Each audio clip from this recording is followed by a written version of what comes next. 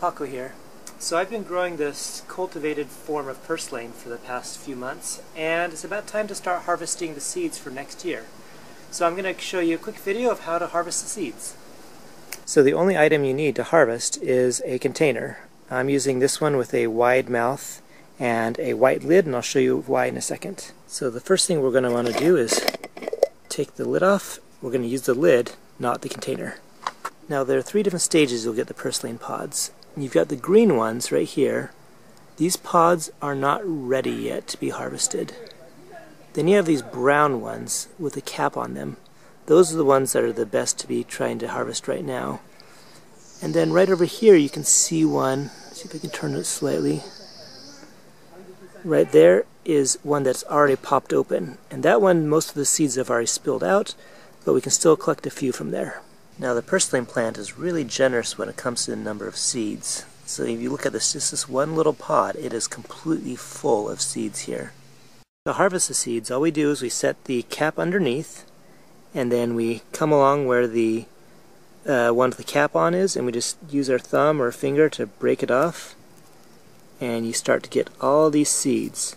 This thing is filled with seeds, so one of these caps is going to leave quite a few. Then if you brush it a little bit, you'll get more seeds to come out. And if you get the entire cap come off, that's fine. We can clean that out later. Alright, so we've taken that away, and we have that many seeds just from the one cap.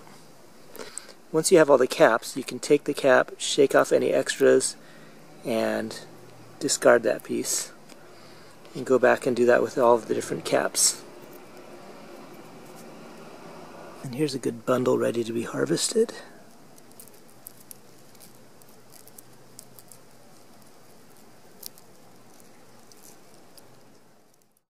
So I'm going to break open the single purslane pod and see how many seeds we get inside.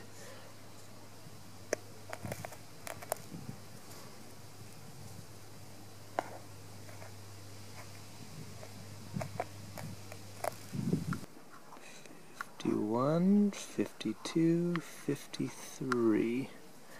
So I just counted, and out of this one seed pod right here, I got about 53 seeds. So there you have about 15 minutes of purslane seed harvesting. It may not seem like that many seeds, but this planter box holds about 50 plants, which is around that many seeds right there. You can imagine how that can be quite a few purslane plants that you would get out of that. So that's about it for this time. So until next time, bye!